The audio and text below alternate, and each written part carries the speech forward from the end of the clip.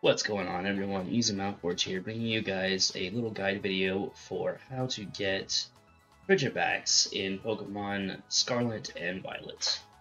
I'll be showing you the exact location, so that way you guys can get this pseudo-legendary and uh, have that for your dex, or just have it in general if you were really looking for it to use on your team.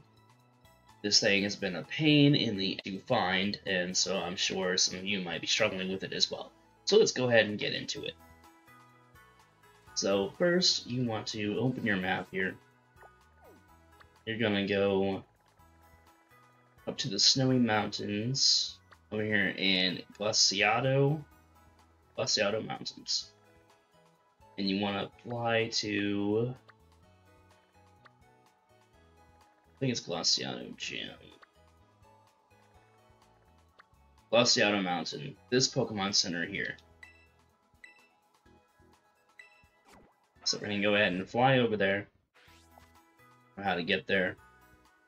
Basically, it is going to be north of the uh, Medali.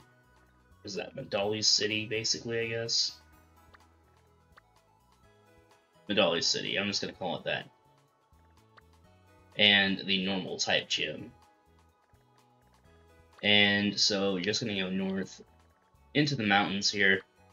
It is right past uh, or Glaseado's Grasp. You have that flight path. It's real easy to trek through. Um, you should be able to get up here without having the uh, the climbing ability unlocked for Koraidon or Miraidon. And basically, from here, we are just going to head west.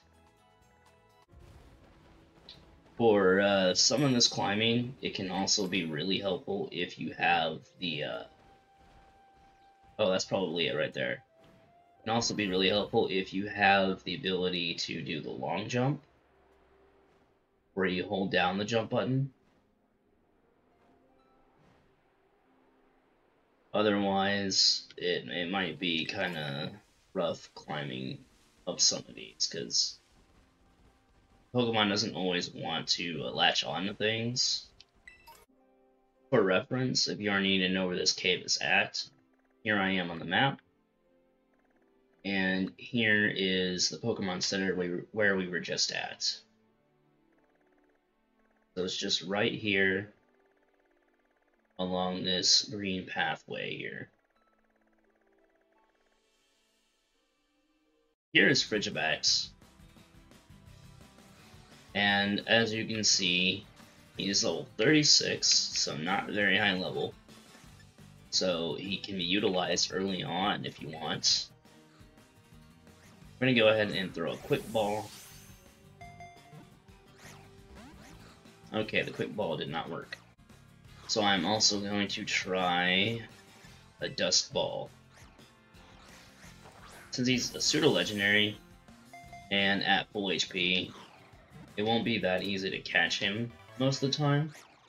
But as you can see, it just took me two balls pretty much. And that was with having Quick Ball and uh, Dusk Ball. Quick Ball obviously didn't work, but Dusk Ball seemed to do the trick, so... If you are needing to evolve him, all you need to do... It looks like we have something stuck in the wall here. What are you? Was, was that Snorunt? It is Snorunt.